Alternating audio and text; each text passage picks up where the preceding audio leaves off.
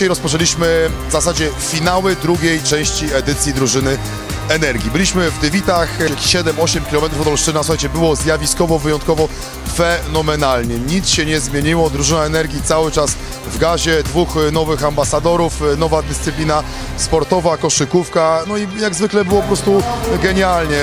Cieszymy się bardzo. Jest to dla nas no, duże wyróżnienie. E, jesteśmy szczęśliwi po prostu. Z takiej małej miejscowości e, daliśmy radę i jesteśmy w drużynie energii. Bardzo fajnie, że taka inicjatywa wyszła ze strony tutaj sponsorów i ambasadorów, e, że możemy coś takiego realizować w szkole. Na pewno e, przynosi to pozytywny skutek i efekt w postaci e, odciągnięcia od elektronicznych urządzeń. E, Bawiłam się naprawdę super, emocje były ogromne, ponieważ to pierwsza taka impreza u nas w szkole, w której mam okazję uczestniczyć. No wiadomo, goście to już dodatkowy stres, ale naprawdę wszyscy byli bardzo mili i naprawdę w naszej szkole dzisiaj była e, niesamowita atmosfera. Przede wszystkim sport to też zabawa, nie tylko stres.